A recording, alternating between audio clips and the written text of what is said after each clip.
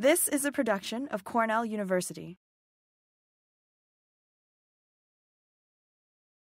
Thank you much, Paula. Thank you very much. It's a pleasure to be in person speaking to uh, you all, which uh, I've been locked on Zoom for a lot of the time, but this is nice. So when I was asked to do this talk, I thought about how, how to kind of think about uh, presenting a lot of my work, and I thought I could kind of zoom in on zoom in on one particular project, like we would typically do for a seminar, or I can give you a long vision of what we've done over 42 years. And uh, so I thought I'd do the latter, which took me a while to pare it down to make a reasonable story. And so that's what I'm going to do. I'm going to try to tell you what has been the objectives and the impetus and the projects that the Urban Horticulture Institute, which I started in 1980, um, has been doing for the last 40 years. More and more, we're recognizing that trees and urban vegetation have tremendous ecological and uh, environmental benefits for cities. We're getting more and more press about this. And in terms of the ecosystem benefits that these uh, vegetation provide for people is, is quite significant in terms of stormwater reduction, air and water quality, energy conservation, cooling, carbon sequestration, urban heat island mitigation, habitat for pollinators, wildlife, and many more. But these are being recognized and quantified in many cases. Um, so in fact, uh, come late uh, April this year, into for about two or three weeks, you'll see these tags on trees in the ag quad. You may have seen them before. We've done them for five years or so, which is quantifying the environmental economic benefits that can be quantified for uh, stormwater, for air quality, for atmospheric carbon sequestration, uh, cooling, and so on. We can quantify that, and we can do it over some number of years and give the tree a, a numerical dollar value in terms of what it's doing for the environment. Of course, there are many more values to uh, trees than just ones we can quantify monetarily, but it does help when you're trying to make the case, especially to legislators and planning departments that, you know, these trees will pay you back and they're not actually a cost. So we'll be doing that on a tree by tree basis and you'll see that. This program that we work on was from the uh, Forest Service and we it's called Small I, Big T R E E, I tree. So we work on that program to quantify this. Um, but on a large scale, uh, trees and vegetation lower surface and air temperatures. Shaded surface may be know, 20 to 45 degrees uh, cooler than, the, uh, than unshaded materials. And New York City was receiving $5.60 of benefits for every $1 it spent to plant and maintain trees. And based on this cost analysis, Mayor Bloomberg uh, decided New York should substantially increase its urban forest. He started the Million Trees Project, which was supposed to be finished in 2017. It was actually finished in 2016. 223, 220,000 street trees and many more trees in other public spaces and private spaces were put in. But after three years, 30% of the street trees died or were missing. Missing. Where did they go? Um, and a new tree planting initiative has been proposed by the new mayor, Eric Adams. So we always love to plant trees. You know, it's great, rah, rah, let's plant trees. But we don't want to have 30% or more missing after we do the, the nice thing about planting trees. So a lot of what I'm talking about will be keeping those trees going. So there's another large scale issue about trees, which is the, the legacy of redlining. If you're not familiar with redlining, its lower income and racial and ethnic minorities were denied loans and forced to live in crowded and poor quality housing with little investment in infrastructure. This started in the early 20th century and was outlawed about 50 years ago. But the legacy of that, uh, which you can see in Los Angeles here, this is a red line community with wider streets, fewer places for trees, poorer housing, more crowded housing. And in the wealthier areas of Los Angeles, you see a lot of tree uh, value there, a lot of uh, cooling, shading. And so this is a, uh, in the legacy of that practice, which has now been outlawed for 50 years, still lives on in our cities. And it's not just Los Angeles, it's, it's everywhere, every big cities. So denied loans have to live in more crowded and multi-family housing and very little uh, infrastructure investment. So that's some of the, the things we need to think about because the urban environment is complicated. We want trees, we want to have these benefits, and more and more we're recognizing that the benefits do exist, but having to create the spaces and the trees to actually have this happen is a complicated process. So um, because the urban environment is so complicated, I sort of had to hang my hat on some basic objectives. Where we're we going to spend our time, our, our graduate students' efforts uh, over the many years? And so I came to hang my hat on this process, which is a landscape establishment, which starts with site assessment. What do you got? Where are you? What in terms of your soil like, in terms of what the conditions are like. And then what's the proper plant for that site? Now, this used to be the big uh, right plant in the right place, and that's where it was stopped. But we recognize that the site itself may be so, so limiting that you can't just plonk a tree in there and hope for it's going to live. So site modification feeds into plant selection. The better the site, the more chance, more uh, diversity of plants you can do. And we also talked about nursery production, propagation, breeding, evaluation. All that goes into plant selection. And then finally transplanting, getting the tree off to a good start for the first couple of years. That's what I felt we should really emphasize our work on because that's where most of the problems existed. We can plant trees, walk away, and very often 30% are missing three years later. So site assessment, I'm gonna go understanding the site opportunities and limitations. We live in a place where there's development, where there's building, even on the Cornell campus, uh, amazing amount of construction goes on, which has an effect on the soil. And so we need to understand that, especially soil is a big issue. Um, and if we look at the big picture, here's New York State showing the USDA hardiness zones. If you're not familiar, that's the average minimum winter temperature over a 30 year period, but this was an old one, but it has good colors. But you see, New York is very varied. We have the, uh, the tundra up at the Adirondacks uh, into the, the tropics of Long Island. Because there are big bodies of water and our topography, we are very varied. So the average minimum winter temperature, how cold does it get in the winter? And you need to know that if you're going to be choosing plants. They're going to obviously want to make it through to the next season. But what's interesting in terms of what's happening with this is that um, this is a this is a 25 year average of winter temperatures over the United States. And where it's, where it's beige here, you can see basically that's the same, it's been the same for many years. Where it's pink is where things have gotten warmer in the winter. So here we are in New York State, and where we are, our winter temperatures have gotten warmer by one zone, which could be 10 degrees warmer of our average minimum winter temperature. So you need to know most of the country, the winter temperatures are getting warmer. And that has an effect on what trees you plant, what uh, other things in terms of uh, pollinators and so on. So that's the sort of big picture. And, but we want to get to the microclimate. I often say that uh, we've had climate change in the urban environment from before the word climate change was uh, on everybody's lips because of the microclimates we find in our cities. Reflected, re reflected heat, uh, increases temperature, decreases humidity, increases water stress.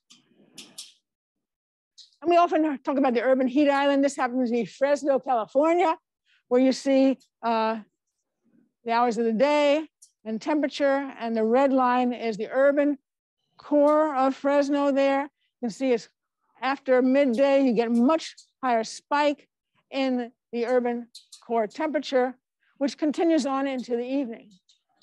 And uh, actually, if I can digress for a minute, uh, Don Rakow here, who was my graduate student in 1983, um, or so we're, um, we did a project in New York City streets uh, on Columbus Avenue, and we would take temperatures and tree data with Tom Whitlow for, for 24 hours. We, I'd take a, the night shift and Tom would do the day shift. And we would have our pyrometers and light cores out there and we would take on all kinds of data. And uh, it was warm at night. I mean, so we were taking situations where we had lots more heat and uh, stress on the trees through the nighttime. We'll tell you a story about that another time. Many stories. Yeah. So I love this infrared camera picture, which shows the heat of the surface with a camera. And so you can kind of zoom in on that, that those vertical elements there. Those are trees, right? And here's the, the temperature scale. So anywhere from 67 to 105 Fahrenheit. Under the trees, you have dark blue, 67 degrees. What's that? Shade. Shade. You know, I don't have to have to zoom now, so I can say, what's that? And you can all say, shade. And then here in the, a park. In the outside of the shade, you have grass. And you basically 82 degrees there on the surface of the grass. And what do you think this thing is here, this orange? Concrete, asphalt, paving, right? And it's 105 degrees.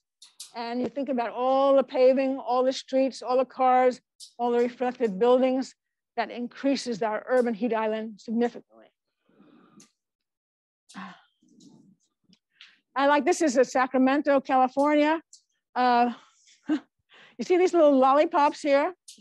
Um, so there were there are ordinances in many cities to require shade on a, a parking lot, 10%, 20%. And they put them in with the big pictures saying, oh, this is tree's gonna get this big, it's gonna look great, and it's gonna shade all the cars. But those trees never got any bigger than what they looked like. There's reasons for that. Uh, but in, basically what they were dealing with, the impervious surfaces is estimated at 40,000 square miles, about 316 added annually. And that's probably an underestimate because that was data taken a few years ago. So this is a big issue that we have to deal with. But in terms of above ground uh, site assessment, that's one thing. Below ground is much more significant and something we can do something about. So dealing with the soil, uh, and you might recognize this place. Do they recognize this? Yeah. What is it? Mann Library. Yeah, yeah. It's, like, it's actually it's a whole ag quad yeah. when it was being re re renovated, and you know we had cars, we had trucks, we had materials just everywhere, which changes the soil, particularly compacting the soil, which then when they pull out, we have the legacy of that to deal with. Uh, so we measure that with penetrometers, with field, looking at the density of soil, and we'll also be taking bulk density, which is a very important measure of how tight the soil is to allow or not allow roots to get into it. Bulk density is a big issue that we deal with all the time. And then when you have dense soil, this is Wegmans parking lot, uh, when they were doing some work, I got in there after a rainstorm and water was just sitting there. It's our bathtub. No drainage, no porosity. So in fact, when we plant a nice red oak, you wonder why is it dying? Because its roots are sitting in water and red oaks don't like the roots. And now you could have changed those species and had a tree that would deal with that. But no one really recognized the, the pros and cons of this. And of course, we also have issues of nutrition, uh, particularly higher pH in urban areas because of the building materials that leach into the soil. And we have chlorosis, iron chlorosis here with oaks, as you see here, which is a common thing. And you know, sometimes within 15 feet, you can have a tree that does well and the one that's doing poorly. And you think, what is going on because of all these different microclimate effects and soil effects? Trees can do very, very differently within a very short space. And so if the trees could talk, what would they say? so, okay, so how do we deal with this? So we have genetic potential of a tree and the environmental reality. Nature, nurture, okay? We have to deal with both of those things. We have to choose the right tree. We have to understand the environment and modify it if we can to make it better for trees to grow. The better we match up that, the better results are going to be. So let's talk about plant selection a little bit because oh, it's part that everybody loves. Oh, trees are beautiful. Um, so after many, many years, there are basically four criteria I think I use for selecting trees. And they're not necessarily hierarchical. You can start any place in this. First, we need pest-resistant plants adapted to environmental conditions. That's abiotic conditions. We need to have highly diverse native and non-native, non-invasive trees. If we want to talk about natives versus non-natives, that's another talk, another time. Uh, meets design and functional objectives. What do you want to do? Street trees, screens, uh, forests, whatever you want to do in terms of why you're planting the tree. And it has to match management limitations. What needs to be done? Can you get it? Can you find it? Is the big size? Is it have pruning necessary? What kinds of things do you need to do? And can you provide that service to the trees? So these four factors are very important. And people will always ask me, what's the perfect tree for, what's the best tree? You know, you're you studied this for a long time. What's the best tree for my city? I said, well, we knew what the best tree was. 1930s, there's the, the clock tower. This, of course, close to traffic. That's the American elm, Ulmus americana, which was planted all over uh, the Northeast, Midwest, because it was incredibly tough tree, easy to transplant, tolerates wet and dry, it's floodplain species, high up in the soil, no problem. It just, and it grew fast and it was beautiful and it created these arches that were famous. Uh, but then because of lack of diversity, same clock tower, uh, 1950s, I don't know if you know the, probably the cars tell you, um, all those gone. And they were all over the Cornell campus. In fact, I was an undergraduate in um, uh, 1971 to 74. And when I left in 74, there were still a couple of elms on the ag quad, but they were on the way out. So no more elms. And we have a really flat learning curve, really flat. So here's that same clock tower. And now we have one species, one cultivar in that portion of campus. Now, and they look great, uh, but what happens if some particular insect or disease says, I like London planes? Uh, this would be a disaster. So diversity is key. And uh, if we look at New York State, we have 4.2 million street trees in New York State, giving us $560 million in benefits, quantifiable benefits. But 60% of the street trees are from four genera. Maples, uh, Acer, 44%, 7% for oaks, 5% for honey locusts, and 4% for lindens. Four genera making up 60% of the street trees in New York. And that's a real, you know, a very uh, issue, an issue where it can be very, very destructive. And we've seen this with particular, know, emerald ash borer, with the Asian longhorn beetle, with woolly adelgid, with, with insect pests that come around. And because we have so much food for them, they really take off. Uh, so this is a just a basic common sense. We need to have more diversity. But one of the things we've been looking at to try to evaluate trees for their ability to tolerate wet and dry soils, which is typical of urban environments and exacerbated by climate change, is looking for plants adaptations to limited water availability. And you can put it in two categories. One is avoidance. I don't want to basically like avoidance of water limitations or tolerance of water limitations. And in many cases, there's both interacting for trees. But for avoidance, you're basically uh, maximizing water acquisition, reducing water use, storm closure, reduced growth, and increased hydraulic conductivity. These are all avoidance mechanisms. Tolerance is where basically the plant is experiencing drought, but is able to osmotically adjust to keep the water in the cells, keep the turgor so they can keep photosynthesizing even in the face of drought. So um, some colleagues from Sweden and the UK uh, worked on that with me. And we'll talk about tolerance in a minute. This is a, a tomentosa silver linden. It's a great tree, native of Eastern Europe, much more tolerant of drought than some of the other lindens we use. And you notice the white underside, the abaxial surface of the leaf, giving its common name. We look more carefully at this.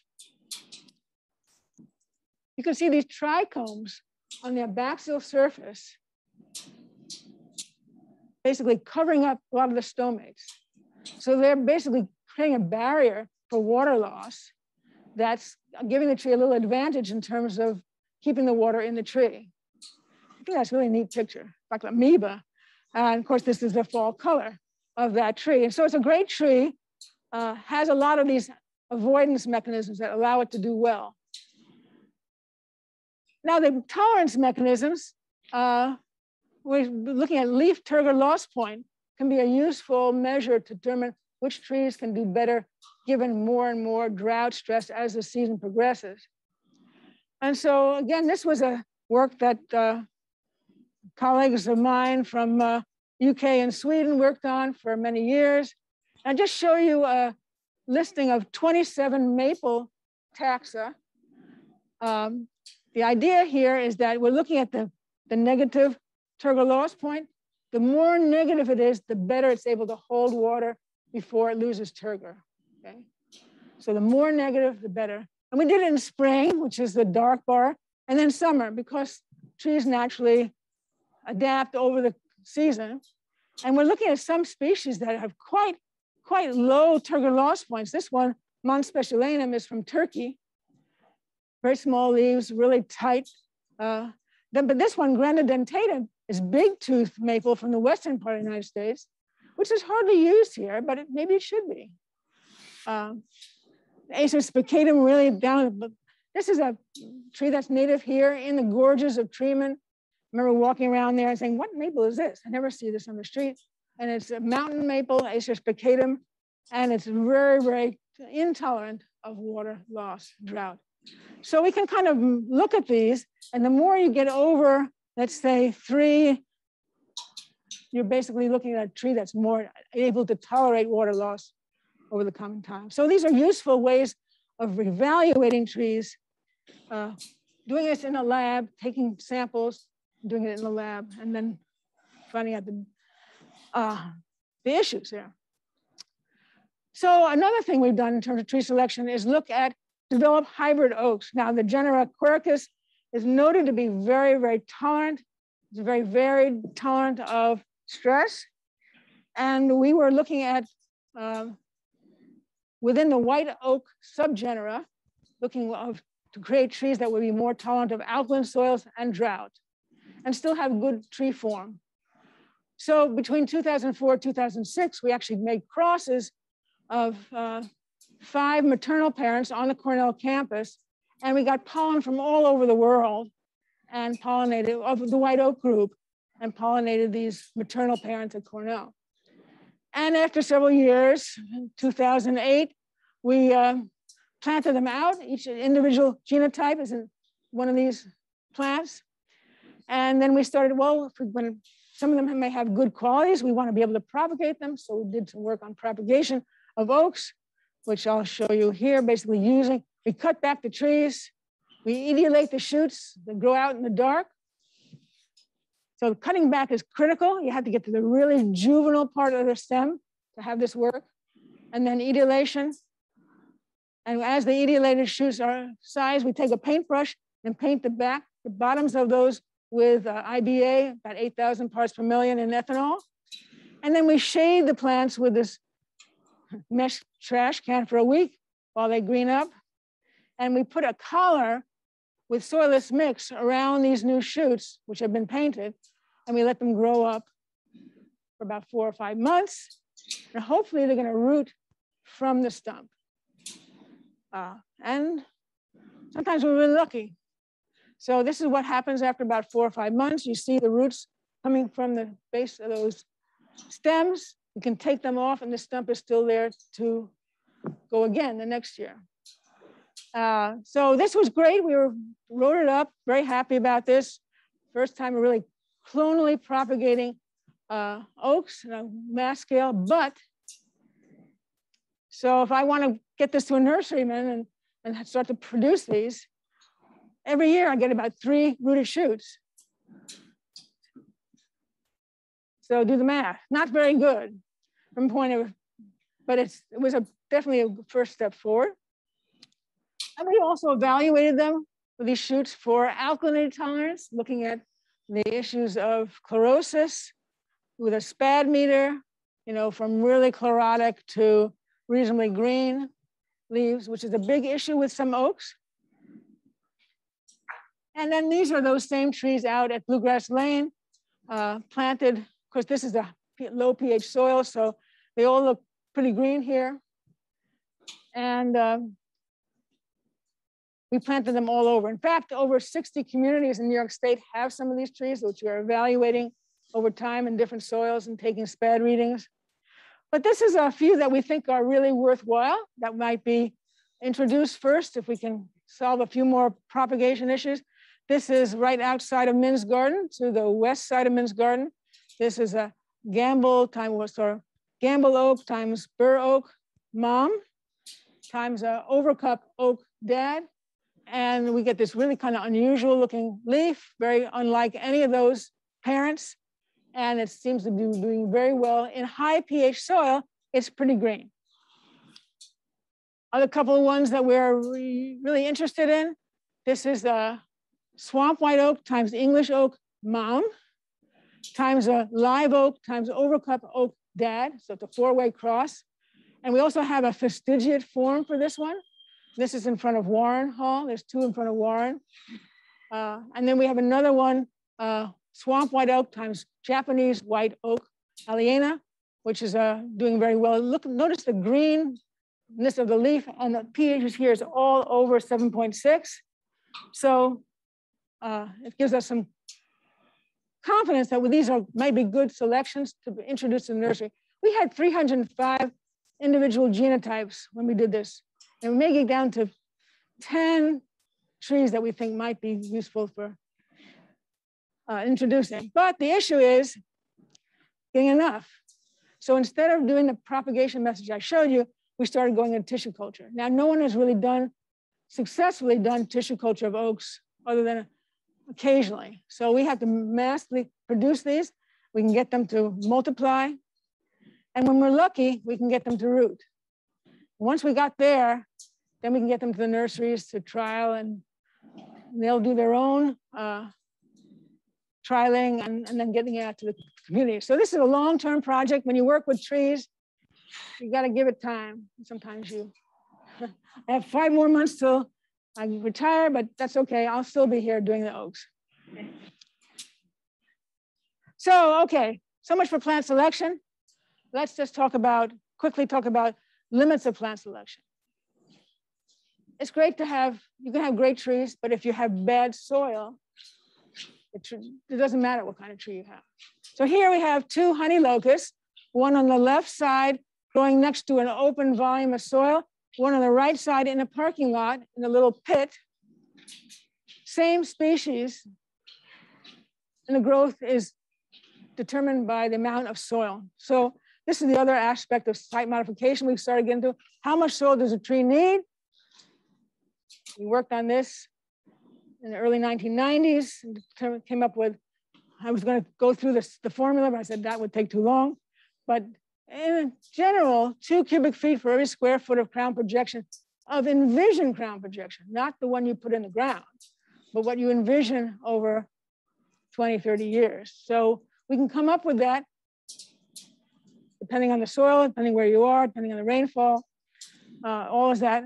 But then you need to say, okay, I need to prepare that soil in order to have the size tree I'm interested in. Now this comes back to the original idea of green equity or greening our cities because you can plant as many trees as you want.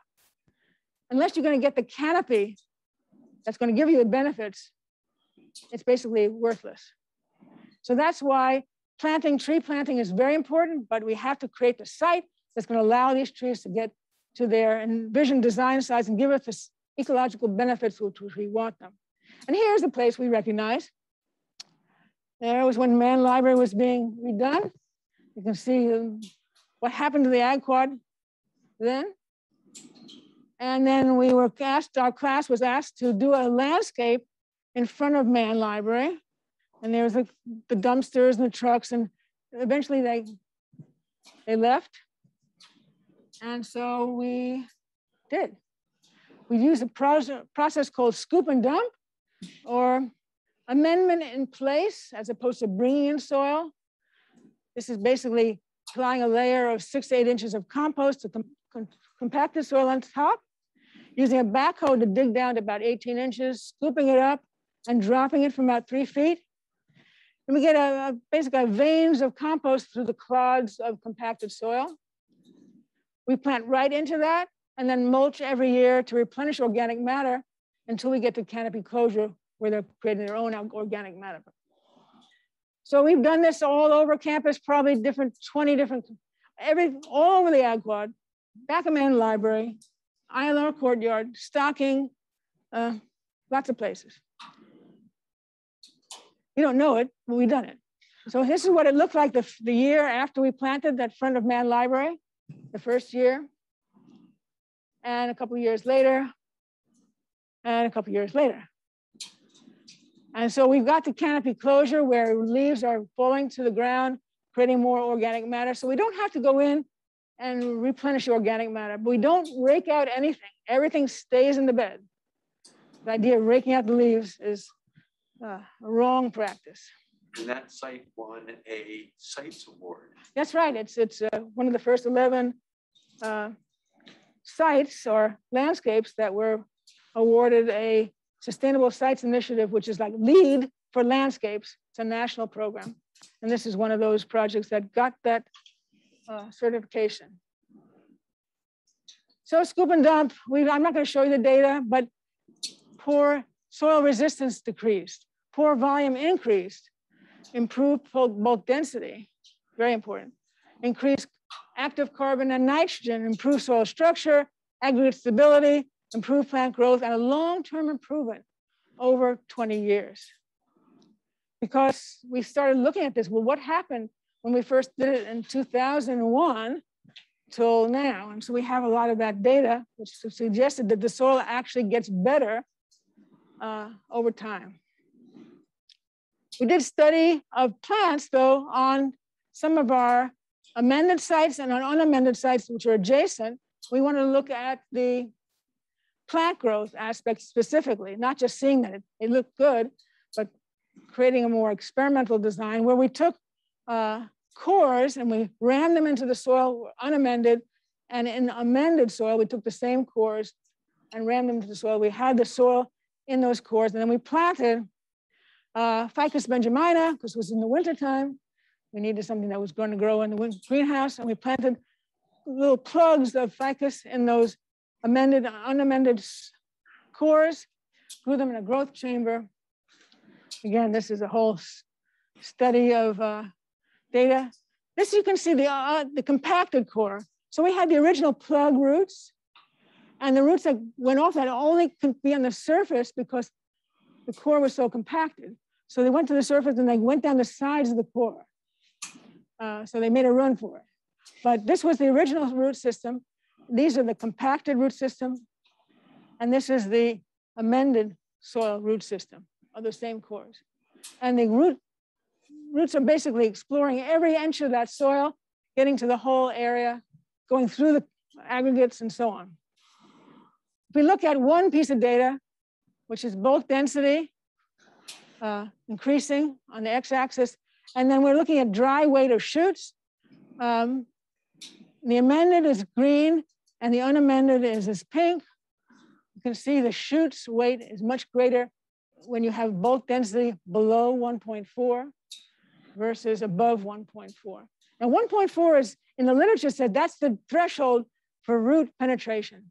But we know it's really a continuum, it's a regression. It's not like you get to 1.4 and things fall off the edge of the earth. If you can get your bulk density down in the kind of 0.8 to 1, you're much better than to think about, oh, I'm just 1.35, I'm okay. So you need to think about bulk density. It's a big driver of plant growth. Okay, got a few more minutes. So this was the other issue we really worked on was the uh, structural soil question. So we had compaction in the landscape due to construction and development, but what about purposeful compaction because of laying pavement? So here, this tree ball is gonna go into that hole and we're gonna say goodbye and good luck. And uh, hopefully we'll see you again in many years, but that doesn't happen. So CU structural soil was something we developed in the late 90s and it's been working ever since. So required compaction due to, you have to compact the subgrade, we call it, subgrade of soil before you lay pavement, because if it's loose, uh, the pavement's gonna subside, it's gonna crack. So you have a load-bearing surface that's purposely done before you lay pavement. And sometimes you actually even reinforce it. And this hole, this little space here, um, what's that gonna be? What's that for? It's for a tree, okay? So we compacted this, we reinforced it, we've left this little space for a tree to go in there, and the soil around that tree is impenetrable. So we're putting it in a pot, and we're hoping it's gonna grow. So this is kind of the cross section of that. We compact the subgrade, which is all these hatch marks. We put a base course of gravel and then a pavement. And so we hope the tree's gonna get out, but very often it does not.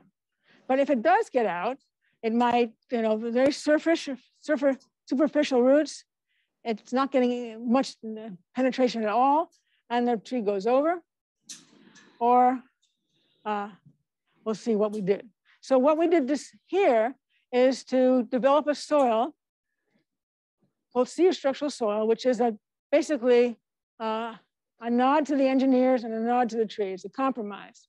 These white uh, angular pieces represent gravel of one size, approximately one inch, two centimeters. And the, because we have one size, we have big pore space. We have a well-graded gravel, we use up all the pore space with smaller gravel. But one size, pretty big gravel, and in between those pieces of gravel, we have soil and water and air. And the key is to have a gravel that locks into place, creates a rigid lattice.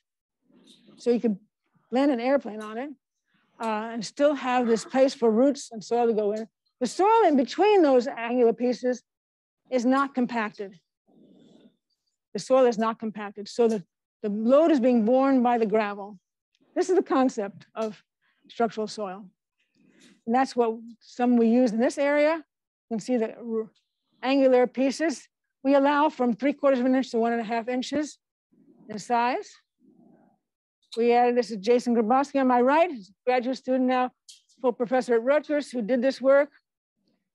And we're adding a clay loam soil with at least 20% clay to the structural soil. And we had to add on one more thing, which was a tackifier to the stone so that the soil would uh, stick and wouldn't, wouldn't have hot spots and low, and low spots, wet and dry spots.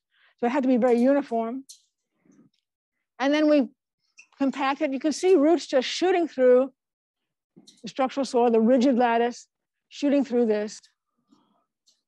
So we thought we were getting somewhere.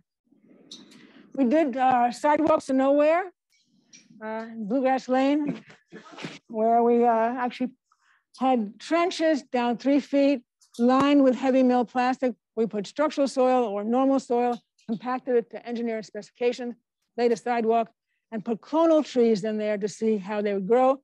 And we knew we were gonna do is take them, cut them down three years later, took the, the asphalt, the concrete off, there's the base course, the granular base course, and then we took the tree out of the ground in one piece using an air excavation tool, taking the whole root system out of the ground and not taking a, a sample. That's a structural soil root system. That's a normal soil root system. Now, just like we saw with the ficus, the roots are at the surface because they can't get in lower down. And so this, just like the ficus, this is one that came to the trench and made a runner down the side. But we get this flat pancake roots. And that's, of course, what causes all the sidewalk heaving. And people say it's the tree's fault. Yes, it's tree's fault. It's the way we plant trees that creates this. And uh, of course, this is a big issue. I mean, this litigious society, millions and millions of dollars are spent uh, reducing lawsuits because people trip and fall. So we looked at where tree roots are, tree roots are in the urban environment, and we see that they're right at the surface, you know, and they go into somebody's front yard, they're good. I mean, there's a narrow tree lawn, the trees don't have enough rooting space, so if they can make it into somebody's front lawn or some uh, other soil, the trees do well. And this is what we like to see as a term, as a basically a uh, detail where structural soil is between the building face and the tree pit. Ordinary soil put into the tree hole so we can maximize water holding and we can have trees get more volume. 1997, first one was done in Ithaca on Route 13. Uh, this is uh, MLK Street down near the Commons. This is structural trees and structural soil after eight years. This is in Brooklyn, structural soil in the pits, but also between the pits, which you can't see on the top left. And after three years and after 10 years. Uh, 3,500 installed projects in the using CU soil in 48 states, Canada, Ireland, GB, and Israel. Uh, also, I, I, should say uh, Australia. Uh, but this happens to be Miami, South Beach, with structural soil in palms. I mean, who to know? Once you get things out there, you don't know how people are going to use them. We have multiple brochures of giving a hands-on, how do you use this? But it gets out there. This is Sydney Olympic site, the plaza. Um, these are oriental planes in structural soil with irrigation because they have no rain there. So uh, it does very well. So again, a useful uh, use of structural soil is just a, a solution to stormwater problems. This is another big project using porous asphalt with structural soil, allowing water to filter through recharging rain, groundwater and allowing trees to be planted in those areas. So we often see these kind of massive flooding events, especially when there's more and more asphalt. This was Route 81 a few years ago. But the reason we could do this with structural soil compacted to engineering specifications, which is called Proctor density, uh, we have total porosity less in structural soil than in normal soil because we have those big stones which would expect less porosity, but the macro porosity, the big pores, 31% versus 2% of the macro porosity, which gives you drainage, and infiltration rate greater than 24 inches or less than 0.5 inches. So you can't just put porous pavement over compacted soil. It's just not going to go anywhere. It's going to go so slow. You need to have a reservoir to collect that water. So this was a site we did on uh, uh, Ithaca, where the of trail um, trailhead that people were parking in. City said, well, why don't we try it here? So we put structural soil under this entire space, compacted it. We put porous and non-porous asphalt on top of it. If you're not familiar with that, that's porous asphalt, that's non-porous asphalt. And then we saw cut into it and planted uh, bare root trees in 2005. And that's the 2006 uh, spring. That's uh, 2009. 2012. So uh, they were really growing well. I mean, they were getting water, at least through the, at least both of them were doing well. But we started to notice in about 2012 that the trees in the non-porous, the traditional asphalt, were not as big as those in the porous asphalt. So non-porous Yeah, a little smaller, porous asphalt. So we had to measure this. We had to decide what this was. It's getting late here. Um, we took our colleague uh, to use his ground penetrating radar to look at where the roots were. And each of these slices is the number of roots and the depth, okay? Pass of the ground penetrating radar. The trees would be in the middle, take six slices this way, six slices that way. You can see each of those red dots is a root, and you can see where they are in the profile. That's of the non-porous, the traditional asphalt, and this is the porous asphalt. Much deeper, many more roots, and we think this is the reason why those trees are doing a whole lot better.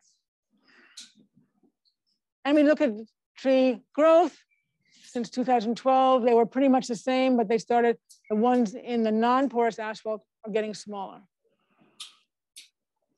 So it's important to know to get the water in the ground. That's an important piece. The last thing I'm just going to talk about for a few minutes is transplanting, which is that four stage site assessment, plant selection, uh, site modification, and transplanting. This is another issue, deals with diversity. Sometimes we want to plant a certain tree, but it transplants very poorly. And we're looking at hydraulic conductance to measure the cavitation, the air bubbles that might be in the xylem tubes, which cause resistance to water flow. One minute, okay. Uh, basically, picture is small caliper, greater hydraulic conductance than uh, large caliper, and spring, better conductance than fall. So a lot of, you know, uh, common wisdom is that small plants transplant better than, transplant better than large ones. Yeah, there's a reason for it. At least this is one reason for it. We also looked at container trees. Uh, this is a problem we get very often with container grown trees. We do root pruning and we found that small caliper trees get greater conductance when we root prune than when we didn't. So I'm going really fast here. Last thing we did is transplanting with bare root using a U blade to go under the trees and get trees roots out of the ground. We dip the roots in hydrogel to keep them from drying out, put them in bags, and uh, over 100 communities in New York and Pennsylvania use this method now to plant trees. And you can see it's about 25 pounds versus 300 pounds for B&B. Last two slides or so. To get all this information to communities that need it, you need to, need to engage them. So we had SWAT teams, Student Weekend Arborist teams for 10 years that went into 60 communities, did tree inventories and master plans, and then presented it to, to the people, whether it's the elected people, people in DPW, arborists who were working with that community, we presented the data and suggestions for how they might go ahead. These are some of my guys. 10 years we did this. Okay, but we also know, need to know that there are amazing things we can do with trees in our cities. This is one of the most beautiful pictures. This happened to be Tokyo with ginkgos, all ginkgos there. And this is New York City, famous Paley Park with an oasis in the middle of downtown Manhattan. And my last slide. There's still things we don't understand. So there's a paulownia growing out of a tree of my building. And that's me. Long time ago. So any questions? I know I've kind of run, I've gone through a lot and I've run a little bit long, but are questions. Yeah. Hi, Dr. Bassuk. Thank you so much for your uh, uh, presentation. I wanted to ask a little bit about the social benefits of trees in cities. You talk a lot about the economic benefits, but what what is it like? What are the benefits and costs to a child growing up in a concrete jungle versus to a child growing up in a city that has trees? Well, I mean, this is what Don Rakow is working with in terms of uh, Nature RX uh, there are a lot of benefits. They're not as quantifiable as yet than the economic and environmental benefits. But I mean, having grown up in Brooklyn, New York, I mean, I, the trees, the parks were very you know, important to get out and play. Right. Yeah, and also to be cool when you're playing. Uh, so I know Mayor Bloomberg, when he was, there should be a park in New York City, no more than 10 minutes walk. That was the games, to have a park somewhere that people can get to within 10 minutes walk. Um, I'm not sure that's all there, but that they're working toward that. So I think that um, there are lots of, you know, lots of, boy, I see lots more data in terms of benefits of uh, trees to people that are not just economic environmental, but they're social, they're cognitive, they're, and that's what Don is going to talk to you about sometime. yeah, question, other question. I was wondering, is there a difference in cost and or durability or complication with the um, porous asphalt versus the not? Yeah, so a lot of people say that porous asphalt will break apart, you know, and especially in the northern areas here, but we've found that, uh, in fact, the hospital uh, has all porous asphalt there. That's been at least 15 years with no maintenance. I mean, they say you should vacuum clean it and all this stuff. Nobody does that. Um, and it's been very, very, the important thing is to put a, a reservoir under the porous asphalt so the water is getting moved down. If you have water sitting at the surface, it'll break up. So is that porous, whether it's just gravel or it's CU soil, if you're trying to grow trees in there, you need to get the water down from the surface. What the, and the cost of? The cost of using porous versus, uh, it more expensive to make? Well, the main thing is the porous asphalt is uh, regular asphalt without the fines, what the fine. And so it's basically much the same recipe, but the asphalt companies have to clean out a whole bay to make it. And so if it has to be cost effective amount, but it should, it's not really much more cost because it's just taking away one ingredient to make the, it's like caramel corn, the, the porous asphalt. Let's see. So you talked a little bit about diversity and diseases, and I was wondering at what scales you think it's most appropriate to assess that diversity, specifically spatial scales? Yeah, so um, we've typically been looking at, we've done many different uh, research projects on looking at the makeup of city, street trees in cities. We did New York, Pennsylvania, New Jersey, and Massachusetts. We looked at all those states. And um, the scale, I mean, if you're looking at just a few blocks of one species, that's probably not a big effort. You have to think if some particular disease or insect comes down and hits that two blocks, okay, you can deal with that. If so, we look at the whole city scale in terms of diversity, because when uh, the Dutch elm disease came in, all American elms were some some cities were 70%. And that arguably gave rise to the urban forestry movement because just, just trees were gone and people really valued them. So we have tended to look at them at the community scale, not as a block by block. Did that answer the question? Yeah. Yeah. But we also have another project where we say, well, people tend to want symmetry in some ways, and especially in Europe, but here too. So we have methods where you can have uh, visual similar, similarity with genetic diversity by choosing trees that look similar and our height to first branch is the same. And for you know students who haven't learned tree ID, they don't know what the tree, you know? But uh, so people often don't know the difference between this tree and that tree if they look similar. So there are ways of putting things together to increase the genetic diversity, but have that similarity if that's wanted. So we have a couple of um, uh, questions in the chat. Mm -hmm. uh, do I have one? Oh, from Anya. Okay, I'm sorry. If it, the, for some reason they're not coming up, if you could please unmute and ask your question um, for Dr. Bassuk. Thank you. Yes. Uh, thank you so much for this presentation. It's just incredible to see all your work laid out like this. Um, and I was just wondering, are your SWAT teams still active? Are, no, the no? SWAT teams are not still active. After 10 years, we decided that was enough. 60 communities, mostly in central New York. I mean, we had a hard time finding more communities um, to do. Uh, and basically we decided, we gave people how to do it. It's all a website, community forestry website, which if you want to do it, how do you do it? But we decided after 10 years, we're not doing it anymore. Okay, and, and I've got two more. Spencer, you want to go? Sure. Yeah. Thank you so much for the great talk. Really engaging. I was wondering, in addition to looking at street plantings, have you done any work to evaluate benefits of rooftop gardens or plantings in a city like New York? Something that I've Yeah. seen from my time living there. hmm Well, rooftop gardens, uh, I mean, putting green on a roof generally reduces the albedo, the reflectance, and reduces the urban heat island. In terms of creating a food source on urban trees, or could be a food source, or it could be just a sedum garden.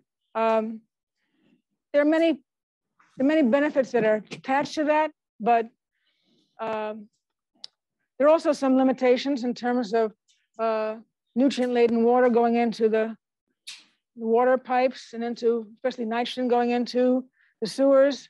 Um, so it's a mixed bag of benefits putting a green roof on a roof. Most of the time it's an energy savings. Sometimes it's a stormwater savings, although you can do that with ballast without plants. You can have stormwater captured, but uh, without going into it in a big deal, there are a lot of different pros and cons of doing that.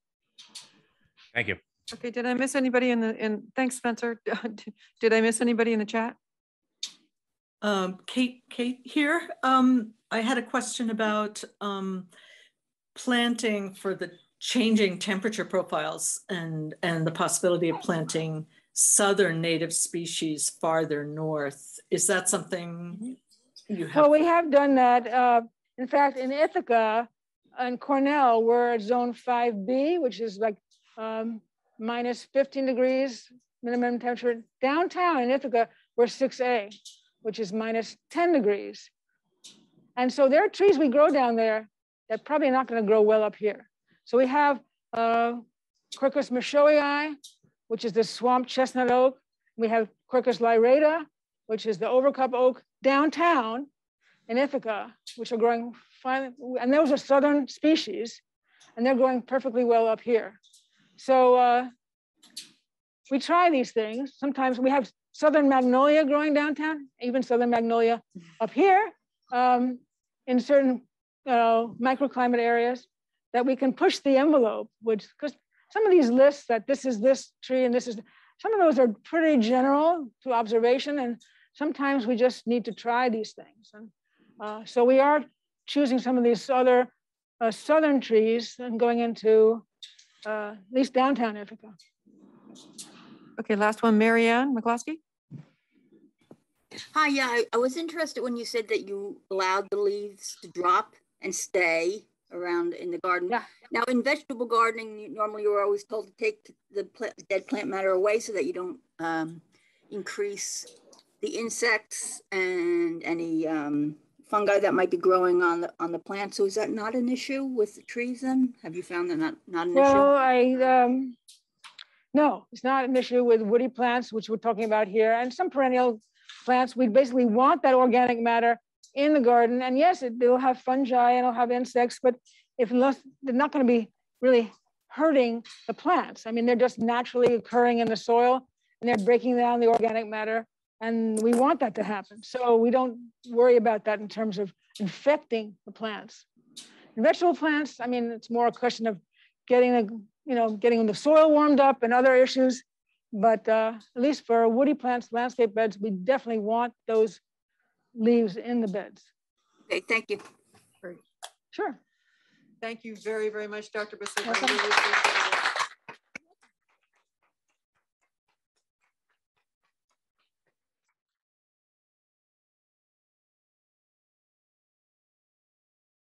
This has been a production of Cornell University on the web at cornell.edu.